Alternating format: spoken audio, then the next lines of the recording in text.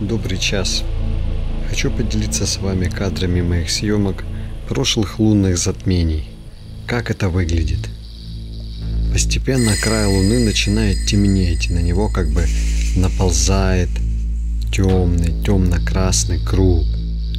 Отдельно хочу отметить тот факт, что это явление происходит всегда только в полнолуние.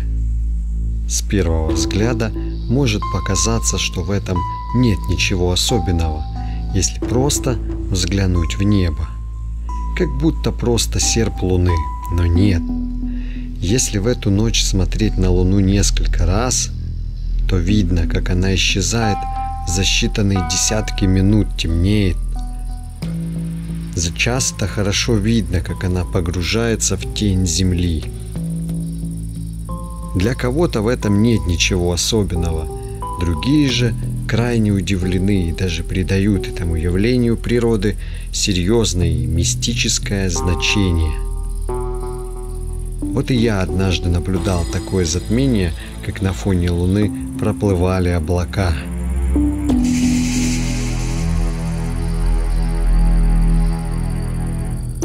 Астрономы с давних пор научились рассчитывать даты затмений – и в астрономических календарях или в интернете вы всегда найдете даты следующих. И вот Луна погрузилась в тень Земли. Вот такая красота. Причем в этот раз при лунном затмении тень Земли довольно темная. Бывает луна красная, багрово-красная, в данном случае просто практически исчезает в небе.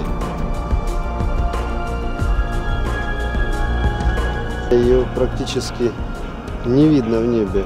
В этот раз она во время того, как погрузилась в земную тень, так потемнела, что практически исчезает в небе.